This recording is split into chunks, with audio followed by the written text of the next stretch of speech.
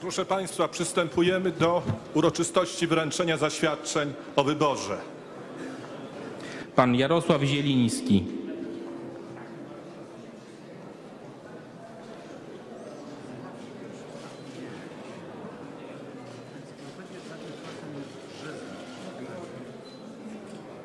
Pan Wojciech Stanisław Ziemniak.